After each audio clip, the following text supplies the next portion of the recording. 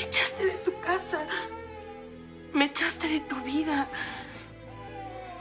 Qué manera de humillarme.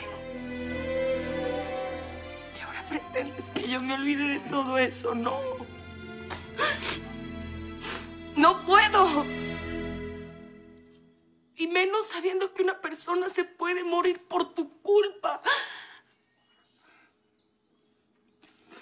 ¿Qué, puedo hacer para que me perdones?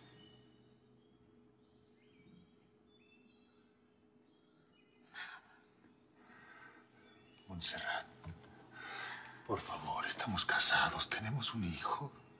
También lo estábamos cuando me corriste de tu hacienda.